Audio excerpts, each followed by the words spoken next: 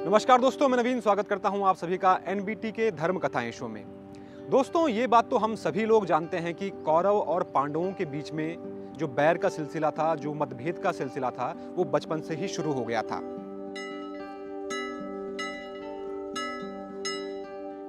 लेकिन पाँचों पांडव भाइयों में सबसे ज़्यादा शक्तिशाली भीम थे और इसी वजह से दुर्योधन उनसे चिढ़ते थे, उनसे बैर रखते थे। दुर्योधन ने भीम को अपने रास्ते से हटाने के लिए कई साजिशें की। उन्हीं साजिशों में से एक था जब भीम को दुर्योधन ने जहर दे दिया था। लेकिन ये जहर भीम के लिए वरदान साबित हुआ। क्या है ये कहानी? इसी के बारे में आज हम आपको अपने इस एपिसोड में जानकारी देंगे।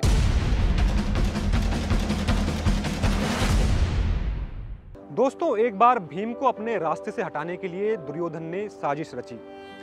इस साजिश के तहत दुर्योधन ने युधिष्ठिर से कहा कि वो अपने चारों भाइयों के साथ जल विहार करने आए। और युधिष्ठिर ने दुर्योधन की बात मान ली।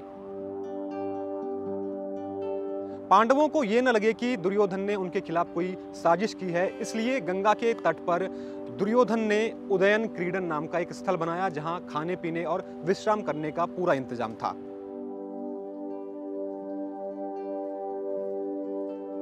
दुर्योधन इसके बाद मौका पाते ही भीम के खाने में जहर मिला देते हैं, कालकूट नाम का जहर। ये कोई आम जहर नहीं था, ये एक ऐसा जहर था जिसको खाने के तुरंत बाद व्यक्ति नहीं मरता, बल्कि कुछ समय बाद व्यक्ति की मौत होती है।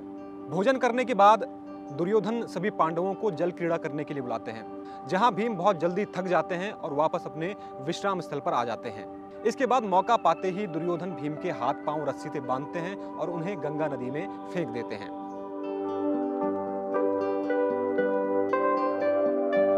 इसके बाद बेहोश अवस्था में ही भीम नागलोक पहुँच जाते हैं, जहाँ सर्पों के डसने से उनके शरीर में फैल चुका जहर का असर थोड़ा कम होने लगता है और वो होश में आ जाते हैं। इसके बाद वासुकी नाग और आर्यक नाग उनके पास पहुँचते हैं और आर्यक नाग भीम को पहचान जाते हैं, क्योंकि आर्यक नाग भीम के नाना के नाना थे।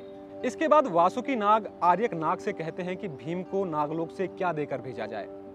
आर्यक वासुकी से कहते हैं कि इन्हें कुछ भी देने की आवश्यकता नहीं है। पर अगर आपकी आज्ञा हो तो मैं इसके शरीर का सारा विष निकाल देता हूँ, जिससे भीम को हज़ारों हाथियों का बल मिलेगा। वासुकी आर्यक नाग को आज्ञा देते हैं और इसके बाद वासुकी एक ही झटके में भीम के शरीर का सारा जहर निकाल लेते हैं। ऐसा माना जाता है कि तब से ही भीम को हज़ारों हाथियों का बल मिला था।